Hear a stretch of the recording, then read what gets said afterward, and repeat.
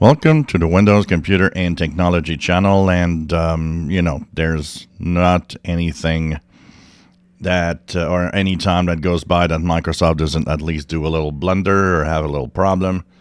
But we'll talk about some of what I would call um, controversies in 2024. So, the number one controversy in 2024, of course, is recall. This is a controversy that started the day that it was announced. It was first uh, to be out in June, lacking tons of security features that a lot of security experts just pinpointed at Microsoft. Bad idea, the way it was.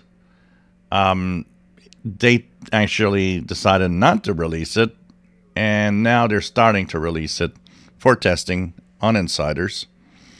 And, um, well, what's interesting in here is that even though they fixed and have improved a lot of it, there's still, you know, controversy. I think this will be a feature that controversy will simply be there um, just because it exists the info that it gathers and so on. Add to the fact that in latest tests, um, it's been shown that its feature, which is supposed to actually not take any snapshots of sensitive information, doesn't always work right. And Microsoft, of course, had to come back and say, well, if you see something, just let us know in the feedback hub because we need to know. And uh, one of them is that some sensitive information like credit card numbers, for example, being uh, added to a website for a purchase were sometimes snapshots. Not always, because it's supposed not to take that sensitive info, but it happened a few times that apparently it did take a snapshot. So, you know, um, big biggest controversy of 2024, I think. We got to say it is recall. Uh, whether you like the feature or not, um, some people will like the feature. A lot of people don't want the feature.